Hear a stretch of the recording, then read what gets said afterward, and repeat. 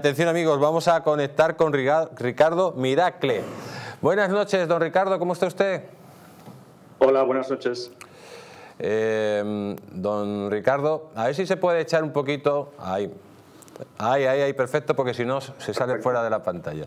Don Ricardo Miracle es el abogado que ha puesto una querella contra el señor Rodríguez Zapatero. Atención, bomba informativa. Se decían que se iba a hacer actuaciones judiciales contra Zapatero y ya han empezado. Delito eh, contra Zapatero por de, contra los derechos contra los derechos humanos, digamos, delitos de lesa humanidad.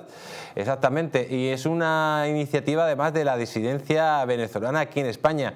Señor eh, Miracle, eh, cuéntenos usted en qué se ha basado esta querella contra un zapatero que es evidente que está colaborando con, un, con el eje del mal, con una narcodictadura y lógicamente por, por similitud por, con el crimen transnacional.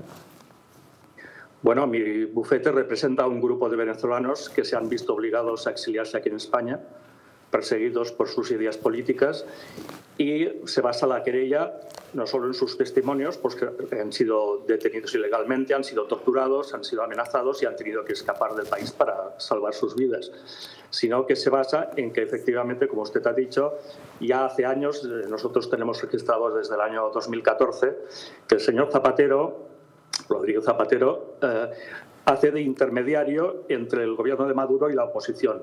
Pero en realidad, de facto, lo que hace es representar al gobierno de Maduro en las instituciones internacionales para blanquear eh, la política de Maduro, para encubrir los crímenes que se están cometiendo y, por ejemplo, últimamente pues, eh, se ha presionado ante el, el Grupo de Puebla para solicitar que no se le exija a Maduro las actas electorales eh, favoreciendo evidentemente ese fraude electoral que ha ocurrido en su país.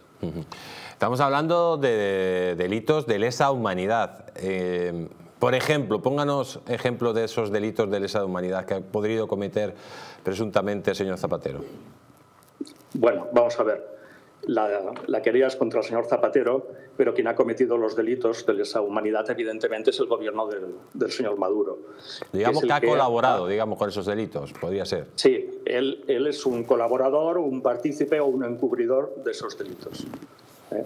Entonces, la, uh, aunque se hayan cometido en, en Venezuela, siendo un ciudadano español partícipe de esos delitos, podemos poner la querella aquí en España ante la Audiencia Nacional, que es lo que hemos hecho. Eh, lógicamente ya han puesto la, querella. Estamos hablando mm, de que la Audiencia Nacional tendrá que ver si hay indicios de delitos. Si la Audiencia Nacional viera que hay indicios de delito, ¿esto cómo afectaría al gobierno de España y al gobierno de Venezuela? Y sobre todo al señor Zapatero.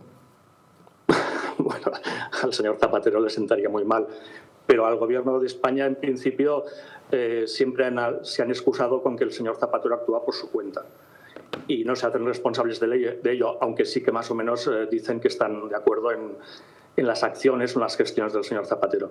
Las, consecuencias políticas ante el gobierno pues no sé cuáles serían, pero para el señor eh, Rodríguez Zapatero y indirectamente también para el gobierno de Maduro pues serían unas responsabilidades penales realmente muy graves. Y en estos instantes, eh, digamos que esa disidencia eh, venezolana, esos exiliados, em, están poniendo la esperanza en la Audiencia Nacional.